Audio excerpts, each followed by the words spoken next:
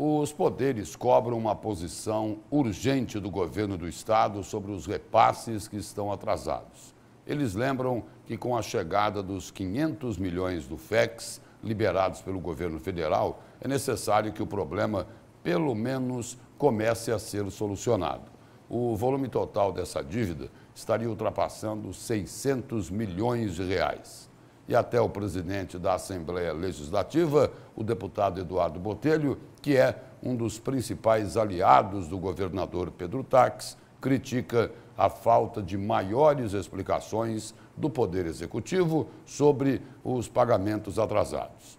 Para o Poder Legislativo, a conta em atraso supera 120 milhões de reais. Para Eduardo Botelho, o momento exige bom senso e uma negociação transparente com os chefes dos poderes sobre os valores atrasados do duodécimo.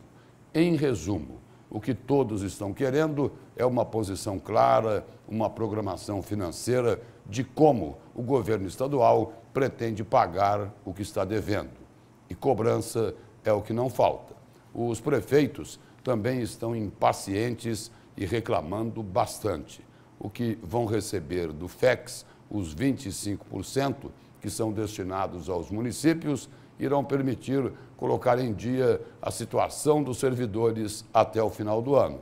Mas vão restar outras dívidas. Na semana que vem, começa o último ano do atual governo e a tendência natural é que o tom das cobranças se eleve ainda mais. O fato é que a crise continua grande mas o cobertor é pequeno.